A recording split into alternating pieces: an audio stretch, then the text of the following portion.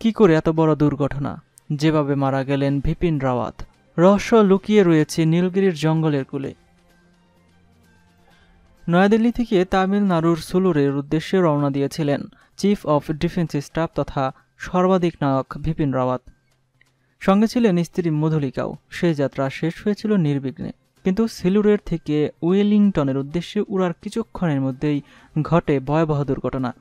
কি করে ঘটল এই বড় দুর্ঘটনা? সেই রহস্য লুকিয়ে রয়েছে নীলগিরির জঙ্গলের কুলে থাকা এক টুকরো চা বাগানে। সেখানে আকাশ থেকে মাটিতে আশ্রে পড়ে রাওয়াতের হেলিকপ্টার। দুর্ঘটনার জেরে হেলিকপ্টারে থাকা চোদ্দ জনের মধ্যে তেরো জনের মৃত্যু হয়েছে। ঘটনাস্থল থেকে প্রাথমিকভাবে অগ্নিদগ্ধ অবস্থায় উদ্ধার করা হয় ভিপিনকে। ভর্তি করানো হয় হাসপাতালে, তবে কিছুক্ষণের মধ্যেই মৃত্যু হয় তার। প্রাণ হারান ভিপিনের স্ত্রী মধুলিকাও।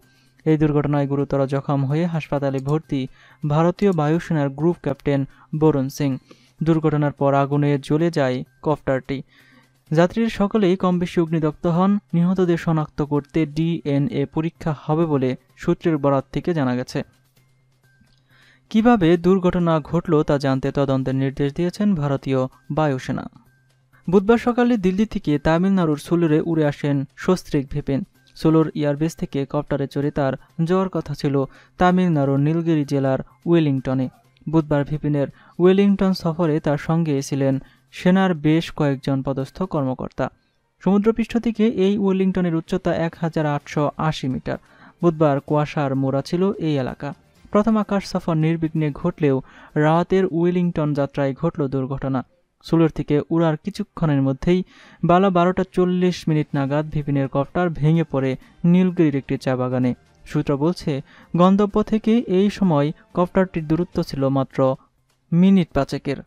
এই ভয়াবহ দুর্ঘটনায় সস্ত্রীক মৃত্যু হয় ভিপিনের। দুর্ঘটনার সময় আকাশ থেকে সপটে মাটিতে আশ্রয় পড়েছিল সেনার কপ্টার।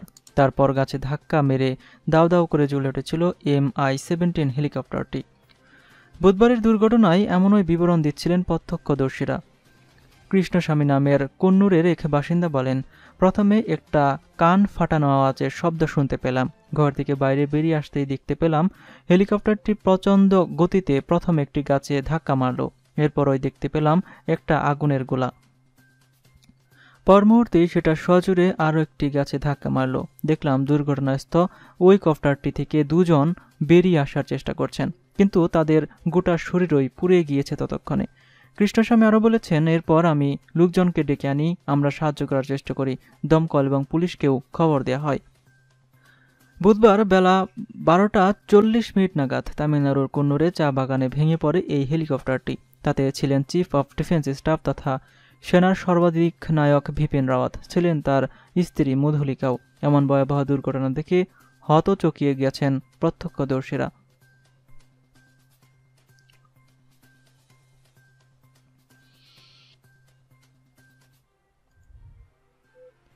বিপিন রাওয়াতের অবদান কখনো ভোলার মতো নয়, বললেন মোদি। হেলিকপ্টার বিধ্বস্ত হয়ে ভারতের প্রতিরক্ষা প্রধান জেনারেল বিপিন রাওয়াত, তার স্ত্রী মধুলিকা রাওয়াত সহ এগারো জন মারা গেছেন। এই হেলিকপ্টারে মোট চোদ্দ জন আরোহী ছিলেন। জেনারেল বিপিন রাওয়াতের মৃত্যুতে শোক প্রকাশ করেছেন ভারতীয় প্রধানমন্ত্রী নরেন্দ্র মোদী। শোক জানিয়েছেন দেশটির রাষ্ট্রপতি রামনাথ কোবিন্দ। বুধবার এক টুইটে নরেন্দ্র মোদী বলেছেন, জেনারেল ভিপিন রাওয়াত অসাধারণ জওয়ান ছিলেন। একজন সত্যিকারের দেশপ্রেমিক ছিলেন। আমাদের দেশের সশস্ত্র বাহিনী এবং অস্ত্র শস্ত্রের আধুনিকায়নে উনি ব্যাপকভাবে অবদান রেখেছিলেন। কৌশলগত বিষয়ে তার মতামত এবং দৃষ্টিভঙ্গি ছিল অসাধারণ। তার মৃত্যুতে আমি গভীরভাবে শোকাহত। তিনি আরও বলেন, ভারতের প্রথম চিফ অফ ডিফেন্স স্টাফ হিসেবে প্রতিরক্ষা সংক্রান্ত সংস্কার সহ আমাদের সশস্ত্র বাহিনীর বিভিন্ন দিক নিয়ে কাজ করেছিলেন, সেনার অভিজ্ঞতা নিয়ে এসেছিলেন, তার অসামান্য অবদানকে কখনো ভুলবে না ভারত। বুধবার দুপুর বারোটা চল্লিশ মিনিটে বিধ্বস্ত হয়ে ভারতের তামিলনাড়ুর কুন্নুরে গভীর জঙ্গলে পড়ে যায় সেনাবাহিনীর এম আই সেভেন্টিন হেলিকপ্টারটি। বিধ্বস্ত হওয়া হেলিকপ্টারটিতে আরও ছিলেন brigadier L S Lidder lieutenant colonel Harjit Singh, naik Guru Singh সহ আরও অনেকে। প্রতিবেদনে বলা হয়েছে, ওয়েলিংটনে অবস্থিত একটি সেনা প্রতিষ্ঠানের অনুষ্ঠানে যোগ দিতে ভারতের প্রতিরক্ষা প্রধান সহ অন্য সেনা কর্মকর্তারা হেলিকপ্টার যুগে সেখানে যাচ্ছিলেন। পথে খারাপ আবহাওয়ার কারণেই হেলিকপ্টারটি বিধ্বস্ত হয়। হেলিকপ্টারটি বিধ্বস্তের পর বিপিন রাওয়াতের দিল্লির বাসভবনে গিয়ে তার পরিবারের সদস্যদের সঙ্গে সাক্ষাৎ করেছেন ভারতের প্রতিরক্ষা মন্ত্রী রাজনাথ সিং। এর কিছুক্ষণের মধ্যে বিপিন রাওয়াতের সরকারি বাসভবনে ঢুকলে দেখা যায় সেনাপ্রধান জেনারেল মুনুন মুকুন্দ নারাভানেকে।